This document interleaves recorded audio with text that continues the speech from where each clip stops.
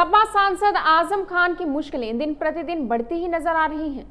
रामपुर जिला प्रशासन का शिकंजा उन पर और कसता जा रहा है। आज़म खान के आवास पर पुलिस ने फिर नोटिस चस्पा किए हैं। दरअसल आलियागंज के किसानों की ज़मीन कब्जाने के मामले की जाँच कर रही एसआईटी ने इस मामले के आरोपी सांसद आज़म खान को नोटिस जारी किया है। एसआईटी ने सांसद आज़म खान के इस मामले में 30 सितंबर तक अपना बयान दर्ज करवाने को कहा है। एसआईटी ने इस मामले में आज़म खान को 23 सितंबर को 27 नोटिस जारी किए गए थे और 25 सितंबर तक बयान दर्ज करवाने को कहा था। आज़म खान के बयान दर्ज नहीं कराने पर एसआईटी ने इन सभी मामलों में फिर से नोटिस जारी किया है। आलियागंज के किसानों की ज़मीन कब्जाने के आरोप में सांसद आज़म खान पर कई मुकदमे दर्ज हैं।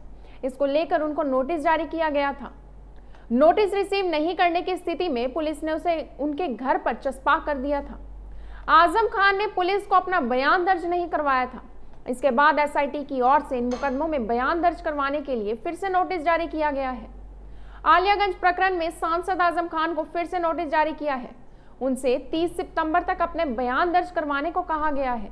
सर किस मामले को जो जवाहर यूनिवर्सिटी के ज़मीन अवैध कब्जा किए गए मामले जो दर्ज कराए गए हैं उस संबंध में नोटिस चस्पा दिया गया है जिसमें उनको समन किया गया है ताकि उनके जो बयान है वो लिए जा सकें पुलिस द्वारा सर इससे पहले भी तो नोटिस के ऊपर किसी बयान दर्ज नहीं कराने के जिसके ऊपर?